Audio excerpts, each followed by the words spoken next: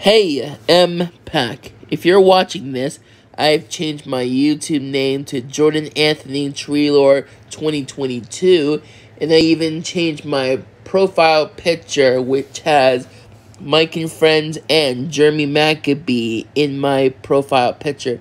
So I hope you liked it, and what do you think of my profile picture and my name on YouTube? Tell me in the comments.